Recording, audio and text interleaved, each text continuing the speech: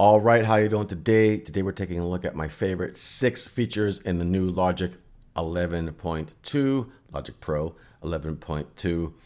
Uh, some really cool things here. We got ChatGPT built into this now. Uh, I'll show you that. And let me know what your favorite new feature in Logic Pro 11.2 is.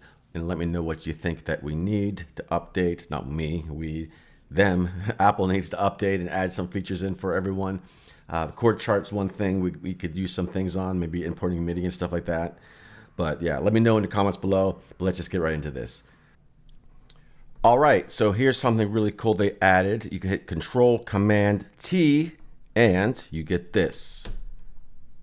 So search and select track. Now this is great when you have lots of tracks on your in your project and a good reason to label everything. So let's say I'm looking for the Vox vocal track here. I have these different options. I want the lead Vox, which I did label, and it's just gonna pop up there.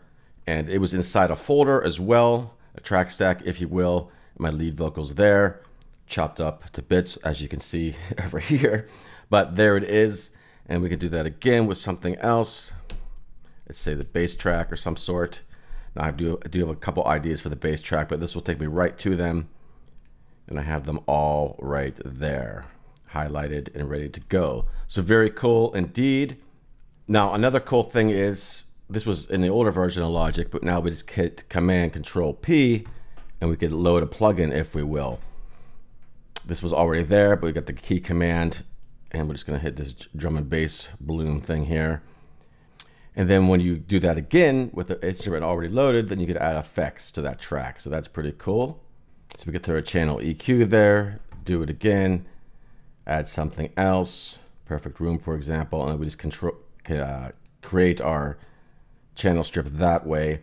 That's good if you don't have this open, especially, and then you can just do it that way. Which brings us to the next good point here. If say we were playing our DAW and we're playing some notes, playing some notes.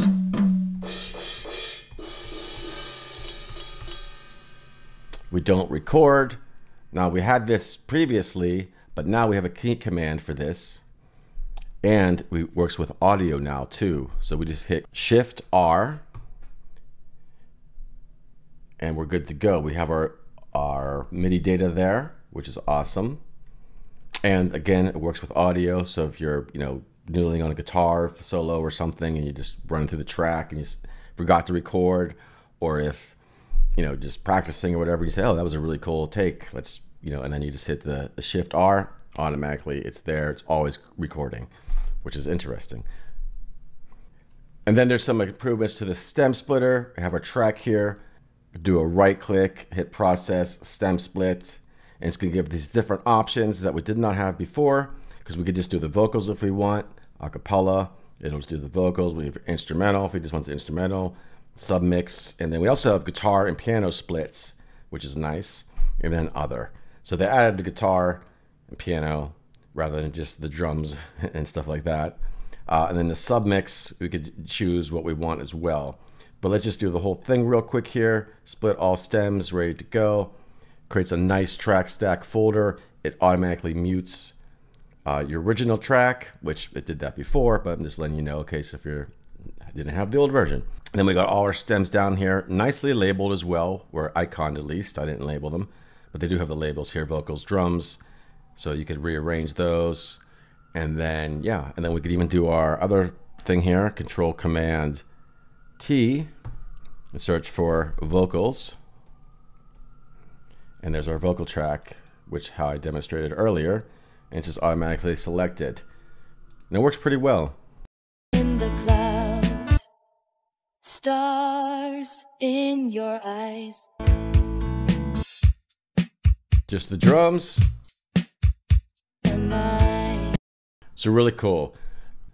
We can also now move the chords around when this chord chart is closed. So you have that up there. We still have our chords here.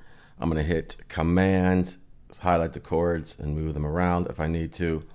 So we don't have to have the chord track open and all this stuff. Very cool.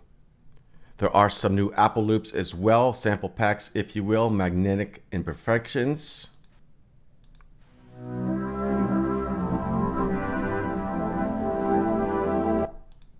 And a lot of these have chords, uh, good for the chord chart as well. So if we drag this one over, for example, we got our chord progression up on top on our chord track. So very cool. We have the Dance Floor Rush sample pack available.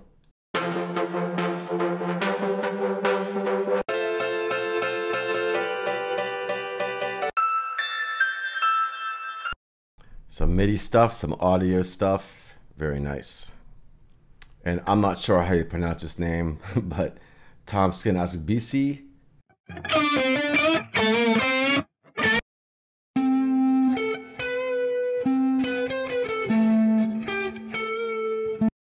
Now, the last thing I want to talk about is the Chat GPT integration.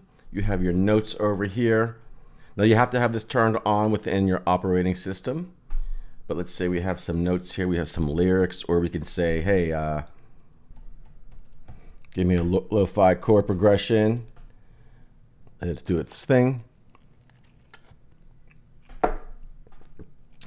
Here is a lo-fi chord progression that captures a chill, nostalgic vibe and then gives you some other ones here and some tips and some refinements. So pretty cool. And then we could just just get copy that, put it over here. And you know, we can do that. We can do lyrics, you know, maybe help you out with some lyrics or something, whatever chat GPT-2 can do. Uh, that's what we got. So you can even highlight words over here and do something like change, describe your change Give me five words that rhyme with this. All right, so there you go. Six really cool new features in Logic Pro 11.2. What is your favorite? Let me know.